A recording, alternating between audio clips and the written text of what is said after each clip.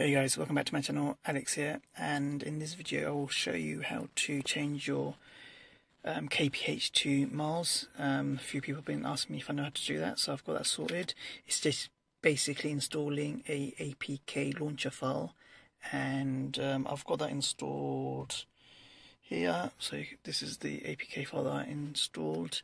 Um, what I'll do is I'll put a link on this video on how to get that. Um, I'll give you a link of that um, file and I'll store it somewhere so you guys can download it and put it onto your um, system and install it. So it's basically just getting that file and just just installing it really.